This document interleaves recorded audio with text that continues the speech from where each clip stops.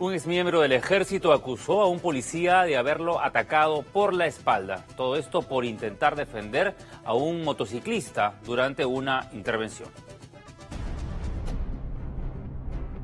Me ha tirado con la vara el señor. Me ha tirado con la vara y él no sabe que la cámara está ahí. Él no sabe que la cámara está ahí. Lo agrede por la espalda con su vara policial. Poco parece importarle la presencia de otras personas. El efectivo no se arrepiente, incluso lo amenaza. Mire, y lo ve. Es el técnico apellidado de la Torre, miembro de la comisaría de San Antonio. Ahí está la cámara. Mire, mire. Pero mire, ahí está la cámara. Yo lo voy a denunciar, técnico. Yo lo voy a denunciar. Ahí está la cámara. Aquí se le ve llegar a este conocido restaurante donde trabaja el joven agredido para pedirle su DNI. Al parecer al efectivo no le habría gustado que Marco Mendoza Ruiz intercediera por un joven motorizado al que intervino tras un choque. Le exigía los documentos ya.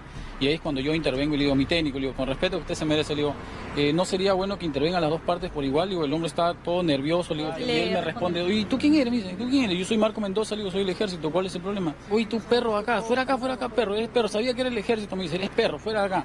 Tras este incidente, el efectivo regresó a su base para luego volver a buscar a Marco Mendoza, quien además de ser un miembro del ejército, trabaja como ballet parking. Se baja con la vara, con la vara sí se baja, suelta, ya no la tenía casi, no la tenía suelta. Y es cuando yo entrego mi DNI ya y saco mi celular y tratar de poner la cámara, la cámara filmadora.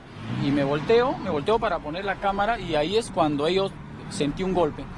Marco fue a poner la denuncia en la misma comisaría de San Antonio y esto fue lo que le dijeron. Realmente me mete el susto de mi vida. Me, me, dice que iba a salir perdiendo, que tenía mis dos faltas, me iban a denunciar por dos, dos faltas, mi, por meterme en la intervención ya y por haber faltado respeto realmente a un, a un policía.